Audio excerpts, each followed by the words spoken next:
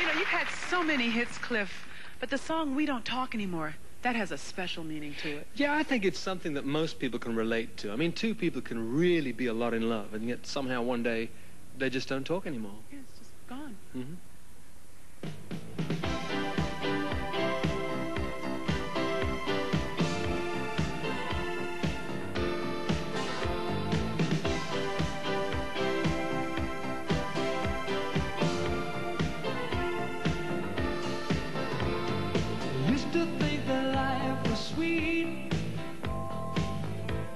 to think we were so complete.